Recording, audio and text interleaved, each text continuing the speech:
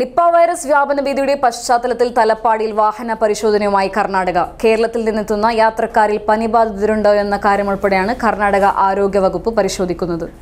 City City Gold, Gold and Diamonds, Kerala and Karnataka, the glow of purity. Nipah virus ഭീതിയുയർത്തുന്ന സാഹചര്യത്തിൽ കേരള കർണാടക അതിർത്തിയായ തലപ്പാടിയിൽ വാഹന പരിശോധന ആരംഭിച്ച് കർണാടക.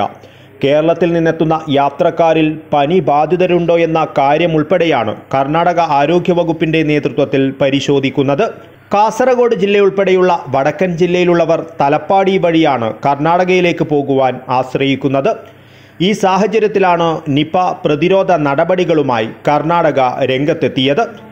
ആരോഗ്യവകുപ്പ് ജില്ലാ ഓഫീസറുടെ നേതൃത്വത്തിലാണ് യാത്രക്കാരെ പരിശോധിക്കുന്നത്. പനി ബാധിച്ചവരെ കണ്ടെത്തിയാൽ അവരെ നിരീക്ഷണത്തിൽ ഇരുത്തുവാനാണ് തീരുമാനമെന്നാണ് വിവരം. ഇതിനായി പ്രധാനമായും താപനില പരിശോധനയാണ് നടക്കുന്നത്. അതേസമയം ഇതുവരെ നടത്തിയ പരിശോധനകളിൽ യാത്രക്കാരിൽ നിന്നും പനി ബാധിതരെ കണ്ടെത്തുവാനായിട്ടില്ല.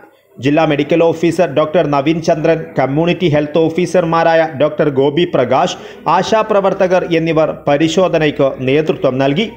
നേരത്തെ കോവിഡ് കാലത്തും കർണാടക തലപ്പാടിയിൽ കർശന പരിശോധനകൾക്ക് ശേഷം മാത്രമായിരുന്നു വാഹനങ്ങളെ കടത്തിവിട്ടത്.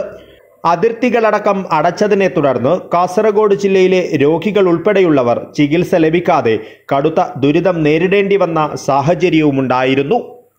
അബ്ദുല്ലഹിമാനുദ്യാവർ ന്യൂസ് ബ്യൂറോ മഞ്ചേശ്വരം.